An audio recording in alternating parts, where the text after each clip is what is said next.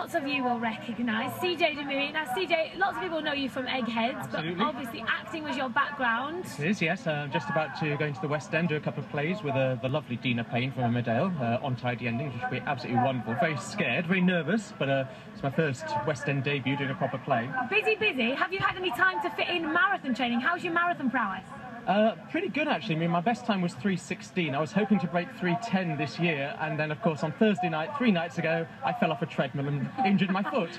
So uh, it might be a little slow, but I'll, I'll still beat 3 3:30, but not going to beat my personal best. I don't think.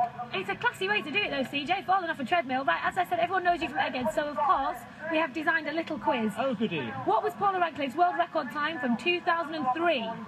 Two, uh, three hours, 15, 25 seconds. Two, two, 15, 25.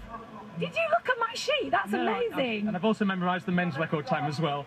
Okay, so I'll move past question two. Who won the first London Marathon, men and women? Dick Beardsley shared it with Inge. So you know I've done some research on this because I thought you'd be asking me a question on this.